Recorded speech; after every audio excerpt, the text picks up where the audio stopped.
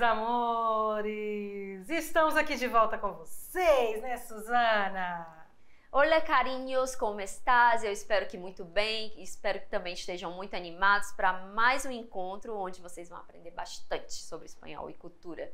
E hoje nós estamos aí cheio de gramática ainda, galera, cultura e gramática. Então, sim, bora para nossa aula de hoje. A aula de hoje nós vamos falar das formas nominais do verbo e vamos na nossa viagenzinha para a Espanha. Vamos falar das curiosidades culturais, musicais e gastronômicas dos nossos colonizadores, os espanhóis. Então, sim, bora para nossa aula que tem muita coisa para a gente ver hoje. Então vamos lá, uso de infinitivo. Infinitivo, deixa eu voltar aqui que eu apertei e foi, foi para borracha. Rapidão, vamos lá, caneta. Que, que é? Bolígrafo. Uso do infinitivo. Gente, o infinitivo a gente já deu uma faladinha sobre ele na aula passada, quando a gente recorria a ele para achar a conjugação. Agora vamos para a definição dele para ficar mais claro ainda. O infinitivo é como a identidade do verbo. Ele representa uma das três formas nominais existentes, cuja característica é se apresentar naturalmente. Por curiosidades, as outras duas são gerúndio e participo, mas vamos ficar aqui no infinitivo. O infinitivo é o que traz na própria palavra essa carga semântica, ou seja, eu vou olhar e eu vou saber qual é o sentido do verbo. O que, que o verbo traz?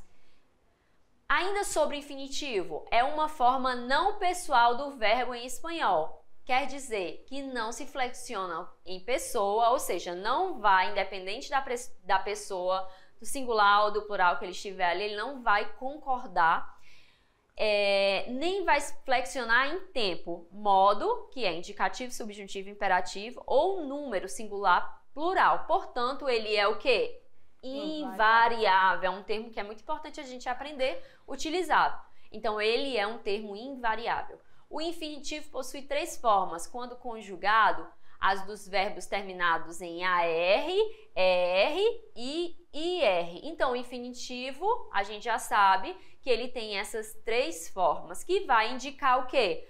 As conjugações, né? Ou seja, o verbo é da primeira conjugação quando ele no infinitivo termina em AR. O verbo é da segunda conjugação quando no infinitivo ele termina em ER. E por sua vez, o verbo é da terceira conjugação quando no infinitivo ele termina em IR. Perfeito. Na oração, costuma desempenhar a função de substantivo. A gente vai ver isso quando tiver uma oração, né? Expressa uma ação determinada. Uso de infinitivo. Alguns exemplos para ficar mais claro. Amanhã é amar. Que amanhã, professora? Já tirou esse amanhã? Ansiosa. Como sujeito, amar é o mais importante. Primeiro é você olhar para essa fra é, frase e identificar que amar é o verbo e que ele está no infinitivo, né? terminado em que? Em AR. Tradução: amar é o mais importante e tendo a função de sujeito. Como complemento de substantivo. Exemplo: me encanta sua forma de bailar. Qual é a palavra aí que está no infinitivo? É um verbo no infinitivo? Encanta? Forma? Não, porque a gente já sabe que o infinitivo termina em AR, R ou IR ere. E aqui ele está como um complemento dele substantivo. Que substantivo, professora? Forma. Tradução: Eu adoro sua forma de dançar. Vamos para o terceiro exemplo.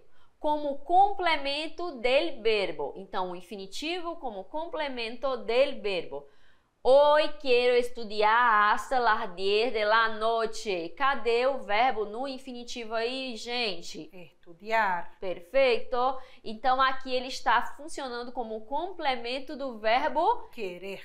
Muito bem. Quero fica hoje quero estudar até as 10 da noite. Olha, que os anjos digam amém, né? Aqui é a voz de vocês dizendo pra gente.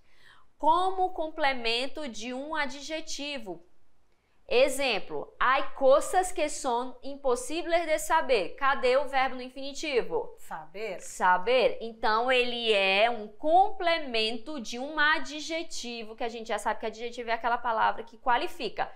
Impossível. Ah, ele está ligado ao adjetivo.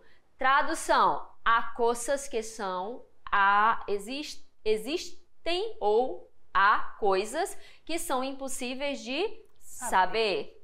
Muito bem. Agora o gerúndio. Uhum. O gerúndio, galera, que existe, que é muito utilizado aí erroneamente pelas pessoas que fazem ligações para sua casa de, de cobrança ou de que querendo vender alguma coisa. São os viciados em gerúndio, né, amiga? São viciados em gerúndio. Mas o gerúndio por eles é utilizado de forma equivocada, errônea. O gerúndio de acordo com a Real Academia Espanhola, ela vai definir da seguinte maneira: forma invariável del verbo que termina em ando, em los verbos de la primeira conjugação, ou seja, verbos terminados em AR, amando, saltando, em yendo ou yendo, em los verbos de segunda e terceira conjugações, comiendo, leyendo, viviendo expresa la acción verbal em seu desarrollo, em seu desenvolvimento. Desenvolvimento. Ou seja, em andamento. Então, ação em andamento. Sin indicação de tempo, número ni persona e se assimila generalmente al advérbio em seu funcionamento gramatical. Uhum. Resumindo, basicamente, o gerúndio ele é uma alteração da terminação do verbo de ação para expressar uma ação em desenvolvimento ou ações simultâneas que estão acontecendo, galera, no exato momento do tempo. Não é que vai acontecer daqui a dois, três minutos e estarei passando uma, a sua ligação. Não, não estarei passando. Não funciona o gerúndio dessa maneira. O gerúndio ele vai falar do presente, do momento exato no tempo. É uma forma invariável do verbo que termina em ando, iendo ou, é, ou seja, usa-se para falar de ações em desenvolvimento, ações que estão em andamento, que estão acontecendo. Perfeito. La professora está explicando o conteúdo, explicando, terminado em, né, explicar ando. R, aí você coloca o ando. ando, como em português, né, amiga? Isso. Existem os verbos regulares, que são os terminados em ando e iendo, é, e também tem as mudanças na raiz que aí, se tem mudança na raiz, se tem mudança no verbo, ele vai deixar de ser um verbo regular e vai passar a ser irregular, ok? Que aí tem aqui os exemplos do decir, diciendo, oír, oyendo. Eu trouxe para vocês aqui é, uma tirinha uhum. do gaturro. Fundo para outra ação, também uma outra maneira de usar o gerúndio, ele de pano de fundo para outra ação é possível usar o gerúndio para criar um fundo de ação. Por exemplo, siendo espanhol, não habla inglês. Por ele ser espanhol, ele não fala inglês. Ok? Olha a tirinha. Agatha, estou vivendo um torrido romance com minha maestra, Ruda Vinagretti. Desculpa-me. E ela sabe que está vivendo um romance com vós? Pero por favor, dijo Caturro, mira, todos los días le mando una carta de amor y ella me devuelve con marcas de rouge, ou seja, marcas de batom. Não, Gaturro. Aí a, a, a, a Sua amiga. Ai, esqueci o, agora o nome, dela. Foi, depois volta. Ah, é. é. Pior que eu, eu fico focada, amiga. Tá. Aí a, a, amiga namorada dele diz assim: Não, Gaturo, são os errores de ortografia. Agatha, o nome dela. Corregidos em rojo. Oh, meu Deus, e o bichinho todo iludido, achando que era beijos. Oh, o menino todo iludido, que tá apaixonado pela professora, a professora mandando. E olha a professora que velha. Oh, mira como é. E a Agatha diz: não, ela só está corrigindo os seus erros de português, ou de espanhol, no caso. Resumindo, galera: amar, cantar, bailar, amando, cantando, bailando, comer, comendo, sonreír, sonriendo. Vai expressar uma ação em desenvolvimento e na oração costuma desempenhar a função de advérbio. Exemplos: Los ticos están bailando rumba. Então, eles estão dançando rumba. Está acontecendo neste exato momento. Estava minha madre procurando por Maria. Minha mãe estava procurando por Maria. Estava estudando muito. Estava estudando muito. Os usos dele, irregular. As irregularidades de alguns verbos na terceira, da terceira conjugação, ou seja, os verbos terminados em IR estão presentes no gerúndio da seguinte maneira. O verbo ir vai ficar yendo. yendo. Decir, diciendo. diciendo. Caer, cayendo. Huir, huyendo. Por que, que vai ficar esse cayendo aqui? Porque seria caindo. Mas para não ter essa essa esse encontro ali e ficar né? cacofônico. Né? Isso ele vai transformar esse I em Y. Uhum. Então vai ficar cayendo. Coisas de la língua, não é isso? É. Certo? Tranquilo até aí? É, in, é, infinitivo, gerúndio, agora falta um. Falta o particípio. A ver, ele particípio é uma forma verbal que participa de, da índole do verbo e tem ao mesmo tempo um caráter de adjetivo qualificativo. Vamos, vamos entender aqui. Possui duas formas: as dos verbos terminados em ado e terminado em ido, ok? E aqui a gente vai empregar a mesma, a me, o mesmo raciocínio. A primeira conjugação ado, segunda e terceira ido, é, não é mesmo? É ado e ido, ou é, diferente Lá do gerúndio, que é ando e endo, o particípio é ado. São verbos que ali está falando da, de ações ali que fazem essa função de caráter de adjetivo qualificativo, de qualificação. Exato. Vai expressar uma ação terminada. Diferente do gerúndio, que é uma ação em desenvolvimento, o particípio vai falar de ação que já terminou. Exatamente expressa uma ação terminada. Quando está acompanhado do verbo haber, indica um, um tempo verbal composto, diferente do português. Então, quando o, ver, o verbo vier no particípio junto com o haber, ele vai formar essa locução verbal, certo? Vamos para mais uma definição. Diferente do infinitivo e do gerúndio, possui flexão de número, cantado, cantado, cantados, cantada, cantadas. Diferente e... dos outros, Exatamente. não tem, não sofre essa essa mudança, né? Essa flexão. E quando é que ele vai sofrer essa flexão? Quando ele estiver ligado a outro verbo formando tempos compostos, tá? Ou seja, o particípio ele vai servir muitas vezes como um verbo auxiliar nos tempos compostos. Também ok? É uma das formas dele. Exemplo, ela estava cansada de trabalhar.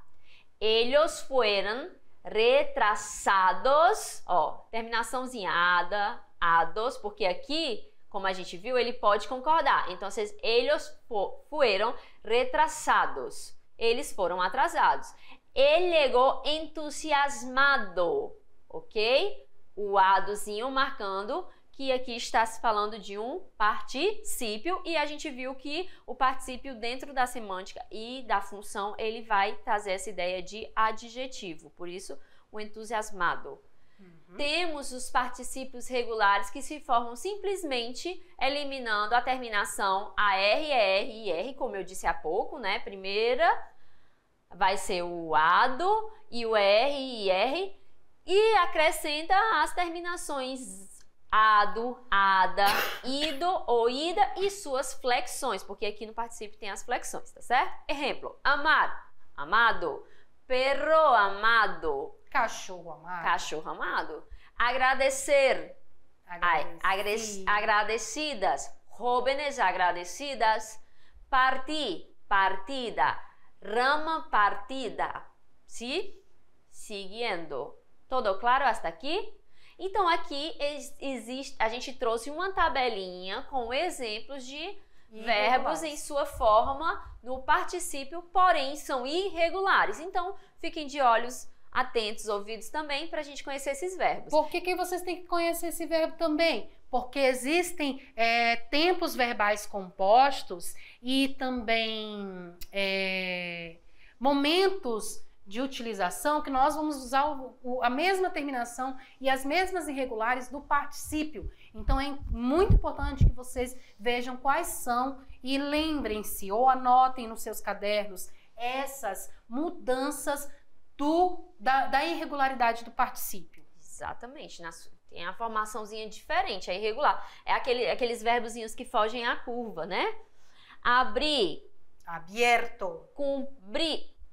Cubierto, Muito bem. Descer. dicho. Gente, vocês notam que até aqui é a mesma coisa, entre aspas, é mesma coisa não, mas segue também a irregularidade, irregularidade do português, né? Uhum. Aberto, coberto, dito, Dito. né? No, no português também são essas terminações ado e ido. Contudo, esses verbos também são irregulares no português, por isso, O escrever, hum, é, ele é regular em outras classes, em outros momentos, mas no participo ele é irregular, porque não é escrevido, é, sim, verdade. é escrito. Embora tenha gente que fala, né? Escrevido. Opa, escrito, né? Escrito. A ser, Hecho, hecho. Imprimir, impresso.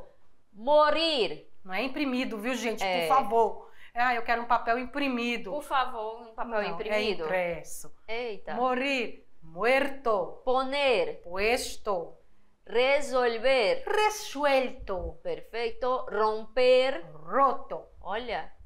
Ver. visto, Muito bem. Volver. vuelto. Muito bem. E é importante que vocês sempre façam aí essas repetições, viu, gente? Aqui está. Então, a gen- como a gente viu, o particípio, ele vai, uma das suas funções é ser o auxiliar nos verbos compostos. Aqui tem uma tabelinha que te mostra todas essas formações que necessitam do particípio. São elas: tempos compostos em que se utiliza o particípio mais o verbo auxiliar haver, né? Então vamos lá. Pretérito perfeito composto e amado. Ele, na verdade, o AB, que é o auxiliar. Ele, vai- é O AB princ- vai ser conjugado, né? Uhum, E o principal, que é o da ação, é o que vai mudar para o particípio. exatamente. Então vamos lá. No pretérito perfeito composto, que a gente viu que, que é o, né, que tá ali casadinho com simples, pretérito anterior, ube amado. Olha que vai ter mais aparição, aparição do verbo no particípio. Pretérito plusquamperfeito, aquele anterior a um passado. Havia Ah, amado. A carga do sentido aqui do composto tá nele, né? No amado, o sentido desse verbo. Futuro composto, abre amado. Então, mais uma necessidade. Condicional composto, abria amado. Perfeito, pretérito perfeito composto, haja amado. Tá vendo que ele não vai alterar, não é? Porque a gente já sabe que o particípio, quando ele está, a gente leu, quando o particípio está na sua função, comple- não completando, mas trazendo sentido no tempo composto, ele se torna invariável, tá certo? E vamos mais um, pretérito plusquamperfeito, ubiera, no sub- ubies, no subjuntivo. do subjuntivo, né? Aqui é o quê? Do Modo. Temos indicativo, subjuntivo e mais adiante vamos ver que temos também o imperativo. Pretérito plusquamperfeito, ubiera amado, ou ubiese amado, futuro composto, ubiere amado. Ufa, não é esse? Quase Mas- que a gente não termina. Exato, mas o sentido, o mais importante é que você veja aí que ele é invariável, está aí fazendo o papelzinho dele junto ao outro verbo auxiliar. É isso aí, galerinha. Agora aquele momento super top das galáxias, momento que a gente vai viajar um pouquinho e hoje nós vamos viajar para Espanha. Então, roda a vinheta.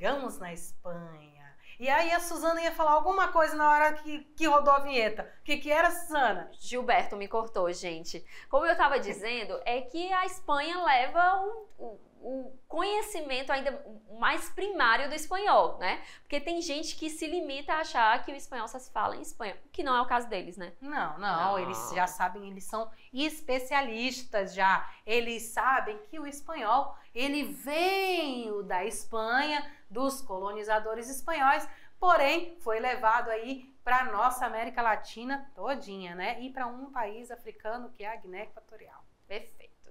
Então vamos lá para as nossas curiosidades? Então dá um zoom na tela para a gente ver, grandão, que as profissões nem cega. A cultura espanhola é cheia de influências, galera, com origens que remontam aos celtas, aos celtiberas, aos latinos, aos católicos romanos e até aos islâmicos também. O país é formado por 17 comunidades autônomas, sendo as mais conhecidas a Catalunha, o País Basco, a Andalucia e a Galícia. E olha uma curiosidade, cada uma também tem a sua língua fora o espanhol. É, o catalão, o basco, o andaluz e o gallego português. Cada uma delas com a sua cultura e uma tradição própria, mas claro, dividindo manifestações culturais como todo, com todo o povo. A cultura e as tradições espanholas representam a riqueza do país ibérico, repleto de festas, celebrações e características bem peculiares. A herança histórica do povo, dos povos que passaram pela região e que formam o que hoje é a Espanha, resultou numa profusão de cores, sabores e na alegria própria do povo espanhol, que é um povo muito feliz. E é um dos destinos muito procurados por turistas, né? É verdade. Por suas belezas. E também para os meninos que gostam muito de futebol. Verdade. Todos sonham, sonham ir para a Europa, para a Espanha, para jogar futebol Cer nos países. Certeza nos... a gente tem alguém aí do outro lado que tem esse sonho, não é não? Tem mesmo. Vamos.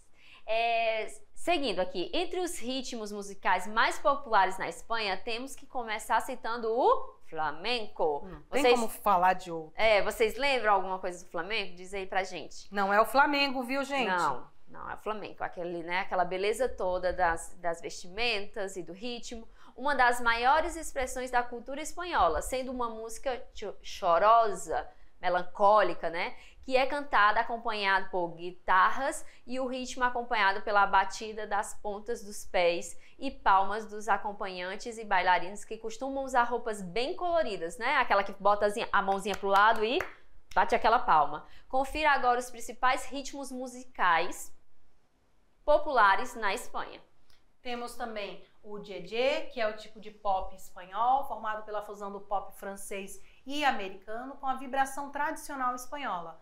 Esse ritmo mistura o flamenco com uma batida mais pesada, carregada de sentimentos, sendo por isso um ritmo popular mais espanhol que existe. Quando a gente fala sobre música, a gente tem que entender que é a mesma coisa que acontece aqui no Brasil, né? Lá fora as pessoas conhecem, por exemplo, é, quando se estuda, imediatamente lembra da bossa nova.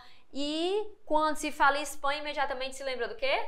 Flamenco. Do flamenco. Só que existem outros ritmos que coexistem ali só e não ganharam tanta visibilidade. Acontece o mesmo aqui no Brasil, né? Quando a gente agora que o funk tá mais em alta, mais é funk gente, e samba. Forró, né? Forró não é tão conhecido como como o funk e o samba.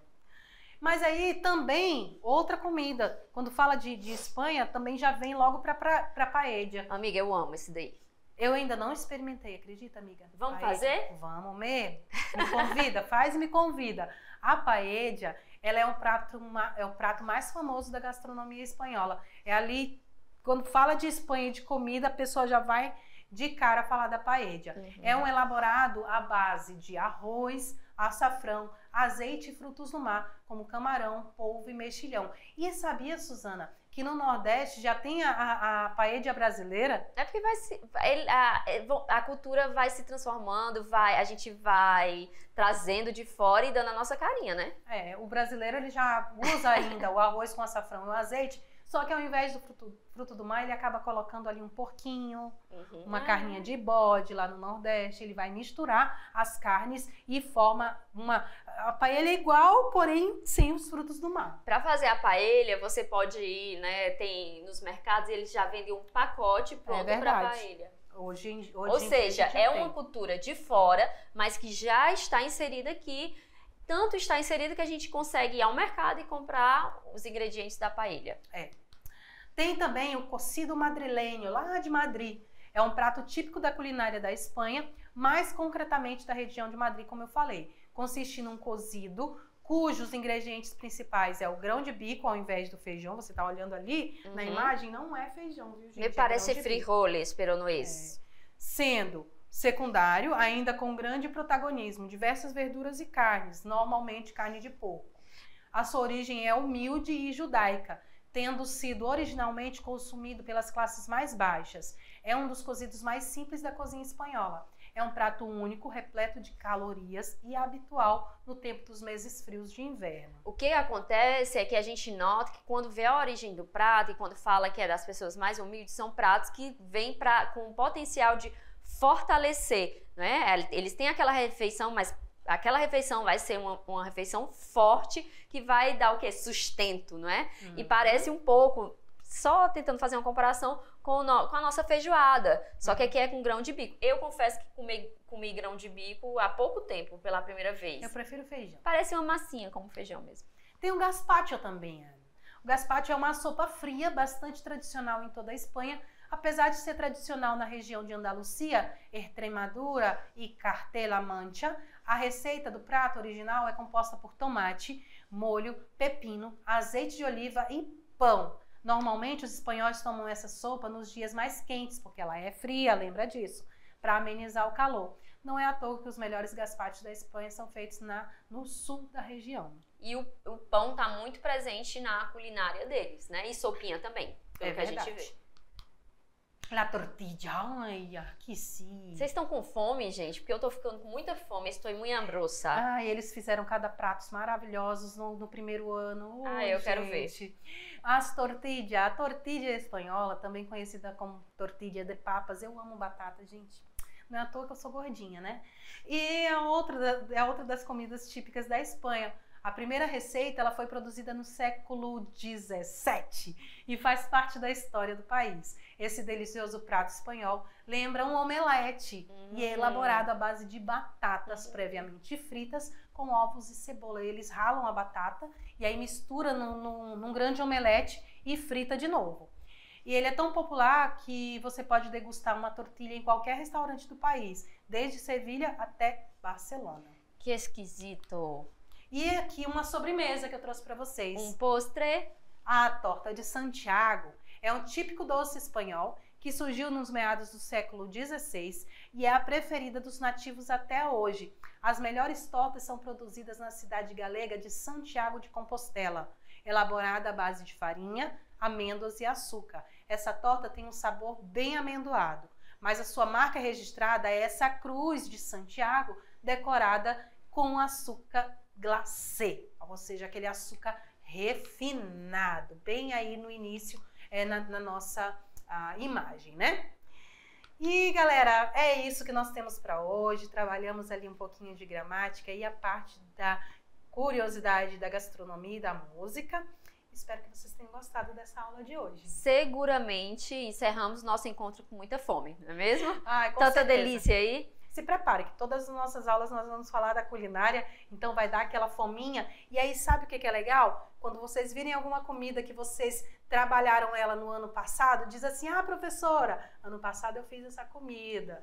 E aí vai mantendo esse contato com a gente, tá bom? Chegamos ao final. Besos carinhos. Nos vemos na próxima classe. Hasta la próxima. Ah, tá pronto.